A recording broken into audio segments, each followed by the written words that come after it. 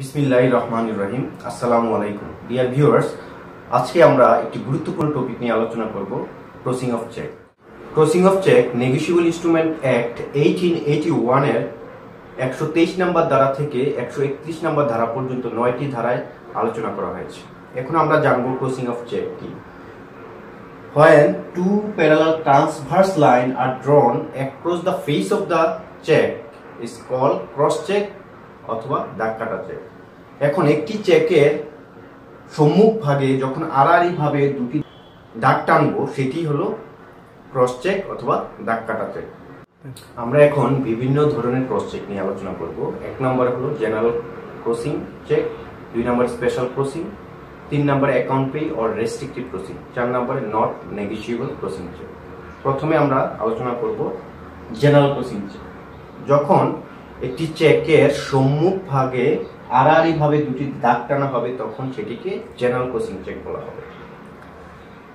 এখন এই আড়াআড়ি দুটি দাগের মাঝখানে an company and company or other যে কোনো এব্রিভিয়েশন থাকতে পারে। এখানে এব্রিভিয়েশনের কোনো ভ্যালু নাই। এখানে lines are important not abbreviation এখানে দুটি আড়াআড়ি দাগ টেনে বোঝানো হয়, এই চেকের পেমেন্টটা অবশ্যই একটি এক ব্যাংক অ্যাকাউন্টের মাধ্যমে হবে, ট্রান্সফার হবে।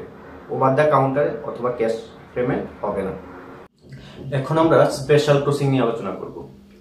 যখন একটি চেকের সম্মুখ ভাগে দুটি আড়াআড়ি দাগ টেনে মাঝখানে কোনো ব্যাংকের নাম লেখা থাকবে, যেমন দুটি আড়াআড়ি দাগ টেনে যদি মাঝখানে লেখা থাকে এইচএসবিসি। যদি দাগ টেনে যে ব্যাংকের নাম লেখা থাকে, ঠিক সেই ব্যাংকেই পেমেন্টটি হবে। এখন একজন ব্যক্তিকে একটি দাগ কাটা চেক দিয়েছে স্পেশাল ক্রসিং এ একটি ব্যাংকের নাম লেখা আছে।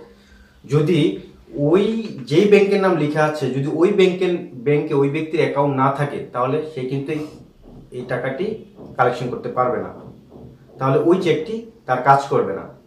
আর স্পেশাল ক্রসিং এর ক্ষেত্রে আরেকটা গুরুত্বপূর্ণ বিষয় হলো এখানে lines are not important words are important এখানে যদি দুটি দাগ না টেনেও যদি ব্যাংকের নাম লেখা থাকে, তাও, তাহলেও সেটি স্পেশাল ক্রসিংয়ে রূপান্তরিত হবে। এখন আমরা আলোচনা করব অ্যাকাউন্ট পে ক্রসিং যখন একটি চেকের সম্মুখ ভাগে দুটি আড়াআড়ি দাগ টেনে মাঝখানে অ্যাকাউন্ট পে লেখা থাকবে, তখন সেটি অ্যাকাউন্ট পে ক্রসিং হিসেবে চিহ্নিত হবে। অ্যাকাউন্ট পে ক্রসিংকে রেস্ট্রিকটিভ ক্রসিংও বলা হয়। কারণ এখানে পে টু এর জায়গায় যদি রাকিবের নাম থাকে, এই চেকটি রাকিবের অ্যাকাউন্ট ব্যতীত অন্য কারও অ্যাকাউন্টে ট্রান্সফার হবে না। এটা অন্য কোনো ব্যক্তির ক্ষেত্রে কাজ করবে না। শুধু রাকিব, রাকিবের যেই ব্যাংক অ্যাকাউন্ট আছে, ওই ব্যাংকেই টাকাটা ট্রান্সফার হবে। রাকিব ছাড়া অন্য কেউ এই চেক দিয়ে কোনো কাজ করতে পারবে না। এই জন্য এটিকে রেস্ট্রিকটিভ ক্রসিংও বলা হয়। অ্যাকাউন্ট পে ক্রসিংটা বর্তমানে খুবই প্রচলিত এবং এটি বহুলভাবে ব্যবহৃত হচ্ছে। অ্যাকাউন্ট পে ক্রসিং ক্রসিং এর কারণে মানে এটা যদি চুরিও হয়ে যায়, হারানোও যায় চেকটি তাহলে প্রবলেম হয় না। কারণ এই পেটিওর জায়গায় যেই ব্যক্তির নাম লেখা থাকবে, ঠিক সেই ব্যক্তি এই চেকটি কালেকশন করতে পারবে, তার অ্যাকাউন্টে ট্রান্সফার করতে পারবে। অ্যাকাউন্ট পে ক্রসিং এর ক্ষেত্রে আরেকটা গুরুত্বপূর্ণ বিষয় হলো অ্যাকাউন্ট পে ক্রসিং এর যে চেকটি এই চেকটি ফার্দার এন্ডোর্সমেন্ট আর ফার্দার নেগোসিয়েশন হয় না। এই জন্য এটাকে আমরা রেস্ট্রিকটিভ ক্রসিং বলি। যাই হোক এখন আমরা আলোচনা করব not negotiable crossing not negotiable crossing এর ক্ষেত্রে যখন দুটি আড়াআড়ি দাগ টেনে মাঝখানে নট নেগোসিয়েবল লেখা থাকবে নট নেগোসিয়েবল নট নেগোসিয়েবল লেখা থাকবে তখন সেটি নট নেগোসিয়েবল ক্রসিং এ রূপান্তরিত হবে। এখন নট নেগোসিয়েবল ক্রসিং এর ক্ষেত্রে কি হবে? আমরা জানি নট নেগোসিয়েবল ক্রসিং এর ক্ষেত্রে পূর্ববর্তী যে মালিকানা থাকে পূর্ববর্তী মালিকানার চেয়ে পরবর্তী মালিকানা বেটার টাইটেল পাবে না। মানে আমরা জানি নেগোসিয়েবল ইনস্ট্রুমেন্টের যে একটা জেনারেল রুল সেটা হলো ট্রান্সফারই always gets better title than transfer কিন্তু নট নেগোসিয়েবল এর ক্ষেত্রে এটা কাজ করে না। এখানে যদি ট্রান্সফার ডিফেক্টিভ হয় ট্রান্সফারিও ডিফেক্টিভ হবে। এখানে যে ট্রান্সফার হবে ট্রান্সফার হচ্ছে ভালো টাইটেল ট্রান্সফারই পাবে না। তাহলে আমরা জানলাম বিভিন্ন ধরনের ক্রসিং অ্যাকচুয়ালি ক্রসিং হলো একটা ইনস্ট্রাকশন অর ডিরেকশন কীভাবে চেকটা পেমেন্ট হবে? এটা কি ক্যাশ কাউন্টার হবে না একটা ব্যাংক অ্যাকাউন্টের মাধ্যমে হবে? সেই এটা হলো একটা ইনস্ট্রাকশন এখন জেনারেল ক্রসিং দিয়ে কি ইনস্ট্রাকশন দেওয়া হয়? ইনস্ট্রাকশন দেওয়া হয় এটা ক্যাশ পেমেন্ট হবে না বা ওভার দ্য কাউন্টার পেমেন্ট হবে না। এই এই চেকের পেমেন্ট হবে একটা ব্যাংক অ্যাকাউন্টের মাধ্যমে। জেনারেল ক্রসিং এর ক্ষেত্রে একটা গুরুত্বপূর্ণ কথা হলো, এখানে words are not important lines are important এখানে অনেক এব্রিভিয়েশন থাকতে পারে, এর মাঝখানে দুটা লাইনের মাঝখানে an company or other abbreviation এখানে এব্রিভিয়েশনের কোনো ভ্যালু নাই। Words are not important lines are important special crossing এর ক্ষেত্রে যখন একটি চেকের সম্মুখ ভাগে দুটি আড়াই দাগ টেনে একটি ব্যাংকের নাম লেখা থাকবে, তখন তাকে স্পেশাল ক্রসিং চেক বলা হবে। এই ক্ষেত্রে lines are not important words are important এই ক্ষেত্রে যদি দুটি আড়াআড়ি দাগ না টেনেও শুধু ব্যাংকের নাম লেখা থাকে, তা সেটি, তাহলে সেটি স্পেশাল এ রূপান্তরিত হবে। স্পেশাল এর ক্ষেত্রে একটা গুরুত্বপূর্ণ বিষয় হলো, যেই ব্যাংকের নাম লেখা থাকবে, ঠিক সেই ব্যাংকেই এই চেকের পেমেন্ট হবে। Number three account pay or restrictive crossing account pay ক্রসিংকে restrictive crossing বলা হয়। কারণ এই চেকে পে টু এর জায়গায় যার নাম দেওয়া থাকে, যাকে চেকটি দেওয়া হয়, ওই ব্যক্তি ব্যতীত অন্য কারও অ্যাকাউন্টে এই চেকটি কাজ করবে না।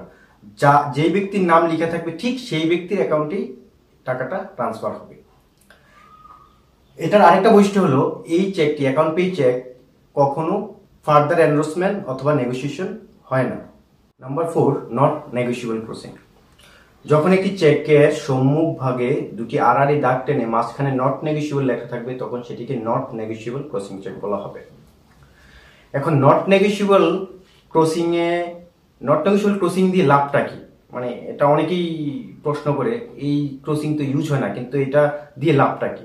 তো এটা আমি একটা উদাহরণের মাধ্যমে বোঝাতে চাচ্ছি। যেমন, বাসে আকবরের কাছে এক লক্ষ টাকা পায়। এখন আকবর বাসেদকে এক লক্ষ টাকার একটা চেক দিল। তারপর বাসেদের কাছ থেকে চেকটি হারিয়ে গেল। হারিয়ে যাওয়ার পর মানে সেন্টু কোনোভাবে চেকটি পেল। পাওয়ার পর দেলোয়ারকে দিল এক লক্ষ টাকা। দেলোয়ার, ইমন আবার দেলোয়ারের কাছে এক লক্ষ টাকা পায়, দেলোয়ার আবার ইমনকে দিল। এই যে একটা প্রসেস এই প্রসেসের প্রসেসে এখন যদি চেকটি চেকটি এখানে সেন্ট টু এখানে ডিফেক্টিভ যদি চেকটি রিটার্ন হয়, তাহলে যে প্রায়র পার্টি ইমন ডিজনের নোটিশ পাঠাবে, দেলোয়ারের কাছে, দেলোয়ার, সেন্টুর কাছে, সেন্টু, বাসেদের কাছে, বাসেদ আকবরের কাছে। কিন্তু সরাসরি ইমনও কিন্তু আকবরের কাছে পাঠাতে পারে। যদি Akbar not negotiable crossing crossing একটা চেক দেয়, তাহলে সেটা কি? যেহেতু মাঝখানে সেন্টু ডিফেক্টিভ সেন্টু ডিফেক্টিভ হওয়ার কারণে দেলোয়ার, ইমন দুইজনেই ডিফেক্টিভ হয়ে যাবে। তাহলে এখানে আকবরের নামে যে ডিজনের নোটিশ দিবে, সেটা কোনো কাজ করবে না এবং তার নামে কোনো মামলা, মোকদ্দমা করা যাবে না। তো এই জন্যই আমরা নট নেগোসিয়েবল কোচিংটা ইউজ করি। যদি মাঝখানে কোনো ত্রুটি দেখা দেয়, এটা হারিয়ে যায় বা অন্য কারও কাছে চলে যায়, তাহলে সেই ক্ষেত্রে আমার কোনো দায়বদ্ধতা থাকবে না। ধন্যবাদ সবাইকে। আসসালামু আলাইকুম।